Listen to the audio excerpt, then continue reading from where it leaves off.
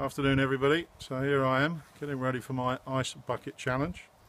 Uh, before I do that I just uh, want to make a little announcement. Um, as a result of the fantastic public response to the ALS Ice Bucket Challenge and the resulting increase in sales in Tesco Ireland across all of our stores, Tesco Ireland is going to pledge 10,000 euros to the Irish Neurone Disease Association.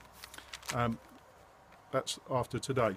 Um, before I take my Ice Bucket Challenge, of course, I have to do my nominations. I should say, firstly, thank you to Nigel Davis for having nominated me. Thanks for that, mate.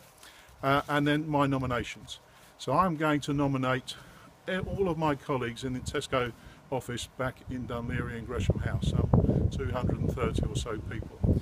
I'd like to see everybody taking part tomorrow after Team 5. That's everybody, JP, including you and your colleague directors. And for everybody that does participate tomorrow after Team 5, I will personally donate 5 euros per head to the association. Thank you very much. So now my challenge.